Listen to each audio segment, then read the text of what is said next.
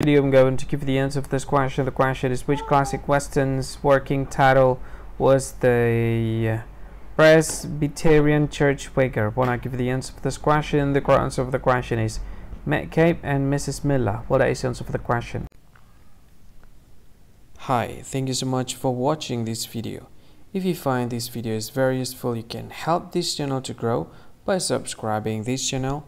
Please this subscribe button and don't forget to like this video. And if you find this video is not really good or you don't really like this video or you kind of feel that it's a little bit offensive or something like that, you can click this one, dislike button. You can do that anyway.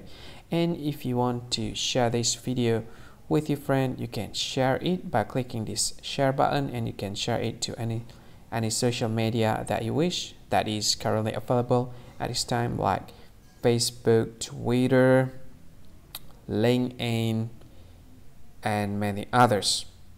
Right?